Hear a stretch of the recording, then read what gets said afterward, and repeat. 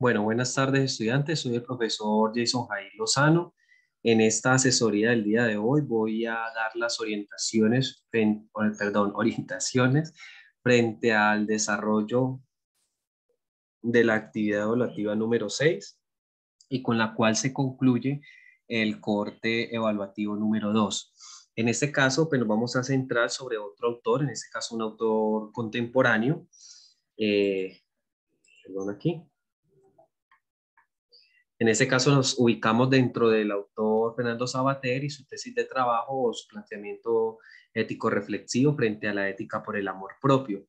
Entonces, en este caso vamos a tener los aportes generales del autor, cómo entregar y desarrollar la actividad y las recomendaciones generales. Bueno, eh, Fernando Sabater es un filósofo, periodista y escritor español, nacido en 1947. Su obra destaca la filosofía como ilustrada y vitalista eso hace referencia a que es una filosofía práctica en cuanto a los dilemas morales y éticos, es decir, como cotidianos, de las reflexiones cotidianas del individuo, un poco más cercana a, puede decirse, a lo que las reflexiones de un individuo del común pueda realizarse sobre su vida. Dialoga constantemente sobre la ética del querer, la felicidad, la integridad del ser y la educación. Pues dos de sus libros más famosos o más reconocidos es Ética para Amador, que es como una especie de reflexiones. No es un manual que le escriba a su hijo amador, sino que son como unas eh, orientaciones o unas reflexiones, unas disertaciones frente a la vida, frente a la vivir en comunidad, frente al individuo. Y el otro es Ética como Amor Propio, que es el cual vamos a trabajar en este, en este texto. Él dice que la ética por el amor propio tiene las siguientes, o se debe tener los siguientes elementos que se extraen tanto de la conferencia y del documento que ustedes van a analizar para esta entrega de esta actividad. Primero es que proponen una ética desde adentro, desde la autoafirmación, desde el valor de sí mismo, para así llegar al valor de los demás. Es decir, de que amar a los demás implica tener un grado de amor propio, para yo poder tener una, un replanteamiento o poder llegar a amar a otra persona, ¿ya? Entonces, en este caso tengo que autofirmarme, tengo que quererme a mí mismo para poder querer a otra persona. Si yo no encuentro esa identidad personal, individual y ese valor de la autoestima, eh, complejamente yo podría amar o querer a otra persona. Dice que sin amor propio, mi amor a los demás será ciego. Sin amor propio, mi amor propio resultará vacío. El amor propio no como objetivo de vida, sino como un camino de orientación a, a a través del hacer un ejercicio. Es decir, que amarse a sí mismo no es, es el único objetivo, porque usted puede decir, bueno, yo me amo a mí mismo, me acepto, me autoafirmo y hay que sigue. No, entonces por lo tanto él dice que no se debe ver desde ese punto de vista, sino como un, una maleta viajera que te acompaña en un viaje constantemente y que te ayuda a crecer como persona. Entonces es algo que nos acompaña, ese amor propio, ¿ya? Y que nos ayuda a solventar todas las dificultades que se puedan presentar dentro de el desarrollo o el día a día de la vida. Dice que el humano como origen, término, principio y fin de su actuar en sí y sobre el mundo. La felicidad debe estar en ser tú mismo. Eh, en este caso, pues aparece, eh, ustedes van a, ahorita les explico más puntualmente la actividad, pero la actividad es sacar cinco ideas principales del planteamiento de Sabater, bien sea el texto o bien sea de la conferencia. En este caso aquí tenemos algunas ideas desde mi punto de vista las más principales de esa conferencia y ahorita les muestro cómo acceder a esa conferencia. El primero de ellos es la educación como centro de transformación de las sociedades más allá de las perspectivas utilitaristas. Entonces, en este caso habla del papel preponderante que tiene la educación en la transformación de la sociedad.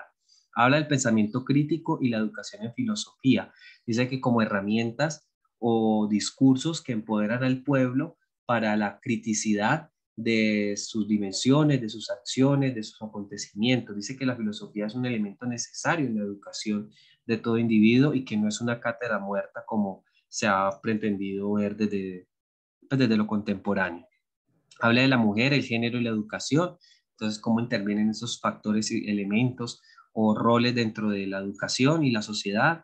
Habla de la familia y los retos que tienen en el marco educativo habla del propósito de la educación, de los problemas éticos y morales contemporáneos, a pesar de que la conferencia es del 99, traza, por así decirlo, para el milenio cuáles serían los problemas éticos y morales que se deben plantear, y habla del rol de los educadores, que sería una idea central para los que son licenciados en pedagogía inicial, para que tengan esa reflexión de cuál sería el reto que desde Sabater considera que es el reto para el milenio de los educadores. Entonces, en este caso, eh, bueno, aquí vamos a acceder a los dos recursos, perdón acá.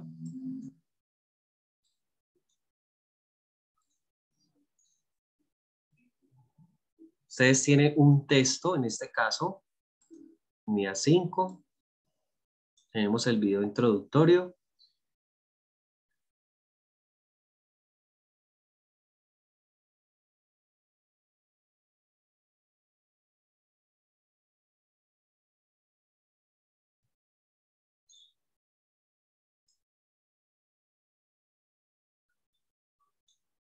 Dice lo siguiente.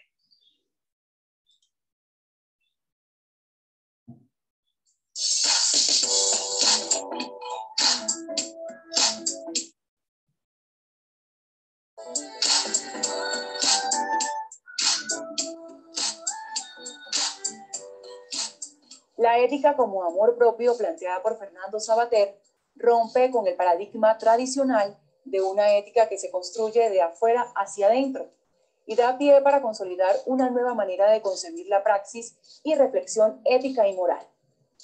Pero ¿en qué consiste la ética del amor propio? ¿Y cuáles son las transformaciones planteadas frente al yo? Esta unidad tiene como propósitos reconocer el papel de la ética basada en el reconocimiento y valor de la autoafirmación y diseñar un procedimiento para la solución de problemas ético-organizacionales. Para alcanzar estos objetivos trabajaremos los subtemas, la autoafirmación y la excelencia, el valor de sí mismo y de los demás. A través del análisis y revisión de la reseña Ética como Amor Propio de Fernando Sabater, así como de la visualización del video, el método Ética Empresarial podrá profundizar en los diferentes conceptos abordados en la unidad. Mediante las tecnologías de la información y la comunicación, además de recursos digitales y actividades prácticas, podrá comprender los argumentos que sustentan el papel de la ética en el proceso de autoafirmación, reconocimiento y valor de sí mismo en el campo empresarial y personal. Lo invitamos a participar activamente, socializando sus preguntas, reflexiones e inquietudes frente a la ética como amor propio. Recuerde que el tutor estará atento a acompañarlo en ese proceso de aprendizaje.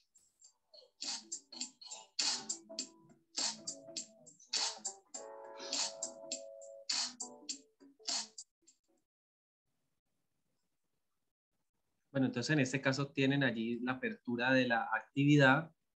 En este caso, entonces en este caso ah, vamos a abordar los dos materiales que requieren para esta, labora, para esta realización de esa actividad. El primero de esta reseña es un documento que acceden a este enlace.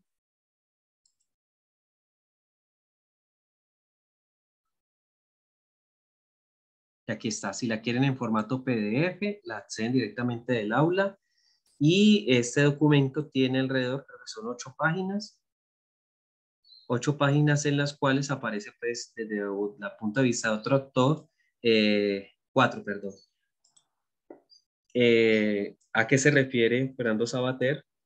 Con la ética del amor propio, es decir, a qué conceptualiza él y por qué es importante el desarrollo del amor propio eh, para los individuos, para la construcción de una psiquis un poco más eh, elevada dentro pues, de lo que considera las reflexiones modernas.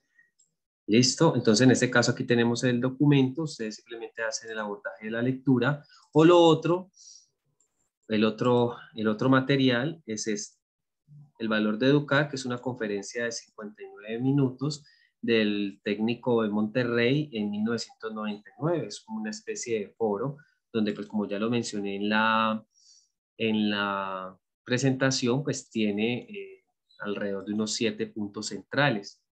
Entonces aquí lo voy a proyectar. Un momentico aquí que estos son publicidades. Ya. Entonces, en este caso, miren la que aparece Cátedra Alfonso Reyes. Ustedes acceden a ella, dura 52 minutos. Y entonces aquí aparece. Es fabricar personas capaces de utilizar sus recursos de forma crítica y participativa. Y que si esto no, si la democracia no, no en ese, en ese campo. aquí está, de todas formas, eh, yo creo que, sí, deben educar hombres y mujeres. ¿no? Eh, hay países, eh, pienso por ejemplo en Dinamarca, donde los niños prácticamente hasta la, hasta la edad universitaria no están en contacto más que con maestras, y veces mucho más competentes que ellos. Sin embargo, ellos lo que transmiten es esa, esa emoción del descubrimiento del humano que solo otro ser humano no puede. La idea de que alguien en su casa tocando botones va a aprender a ser humano es absurdo. ¿no? Aprenderá, digamos, a funcionar. Pero la vida no solamente es funcionamiento, sino un experimento. Y la... tiene una frase que yo lamenté mucho no haber leído antes porque lo había introducido en mi libro, Dice Galvez. Eh, bueno, entonces aquí está. Recuerden que es el que tiene aquí Cátedra Alfonso Reyes, fondo azul. Mire cómo está vestido porque aparece en otras conferencias, pero en este caso la que nos es útil para la actividad es esta de 52 minutos. ¿Listo? Entonces analizan con cuál de los dos documentos, con cuál de los dos recursos, perdón, ustedes van a elaborar su actividad. Frente a su actividad, entonces en este caso, ustedes eh, van a extraer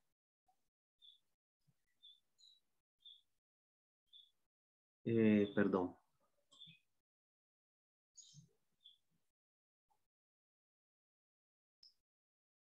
Ta, ta, ta, ta.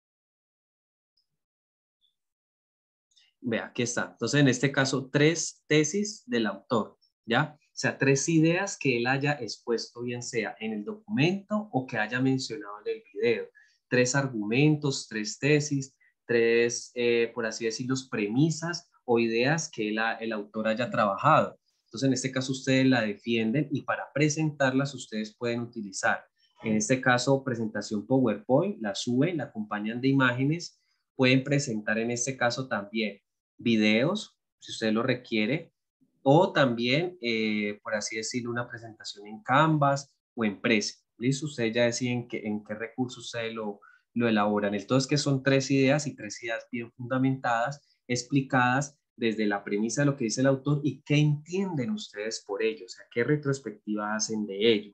Después habla de una participación en el foro, esto no es necesario, simplemente ustedes suben su actividad poniendo esas tres tesis o esos tres autores y ya. ¿Listo? Entonces, en este caso, para el tema de evaluación, Recuerde que hago la misma recomendación, no voy a dar ningún plazo para ninguna entrega, a menos que eh, llegue, eh, llegue una, ¿una qué? Llegue una excusa diligenciada debidamente de bienestar universitario. De resto, ninguna otra situación es válida para presentar la actividad. Entonces, en este caso, para obtener una nota máxima, ¿qué se le dice? Analiza con profundidad las diferencias de su tesis seleccionada y emplea argumentos concretos y sólidamente fundamentados. Es decir, la tesis que ustedes traen la sustentan, la argumentan y la interiorizan de manera adecuada. Es decir, dicen que entienden por qué le llamó la atención, por qué ese planteamiento del autor de Sabater es importante para su reflexión. Dice, en la presentación toma como referente aspectos teóricos aprendidos en la unidad. Entonces, ah, utiliza palabras de Sabater, utiliza citas de Sabater y las interpreta en un sentido eh, estrechamente relacionado. Y en ese caso eh, habla de un tema contextual sobre casos, sobre situaciones donde eso se puede aplicar. ¿ya? Entonces, en este caso lo aplica para su vida y se observa una reflexión bastante eh, válida. Utiliza APAS, ortografía, coherencia, cohesión y no hay errores ortográficos. Es decir, usted no se va a comer las mayúsculas, no se va a comer los puntos. En este caso, bueno, cualquier trabajo allí está como los elementos que van a ser productos de la evaluación. Entonces, tres tesis, bien elaboradas, bien sustentadas, en ese caso que no sean tan concretas, que no vamos a recurrir en eso, como que el amor propio, Sabater define que el amor propio es esto, esto, esto, esto, punto, ya, no dijo nada más, no. Entonces una reflexión y usted dice, desde mi punto de vista, consideramos que lo interiorizamos por esto y esto, o estamos de acuerdo, no estamos de acuerdo, y así sucesivamente la expresa. Listo, esta actividad ustedes la van a desarrollar del día lunes 16 hasta el domingo 22 hasta la medianoche. ¿Listo? Tienen toda la semana para que ustedes se reúnan, observen esta explicación, eh, organicen su trabajo y suban respectivamente su trabajo. Las mismas recomendaciones que siempre les he hecho. No esperen el domingo a las 10 de la noche, a las 11 y media, a las 11 y 45 para saber si el sistema le permite o no subir las cosas. Hagan las cosas con tiempo, con un debido orden y eh, autonomía de aprendizaje. ¿Listo?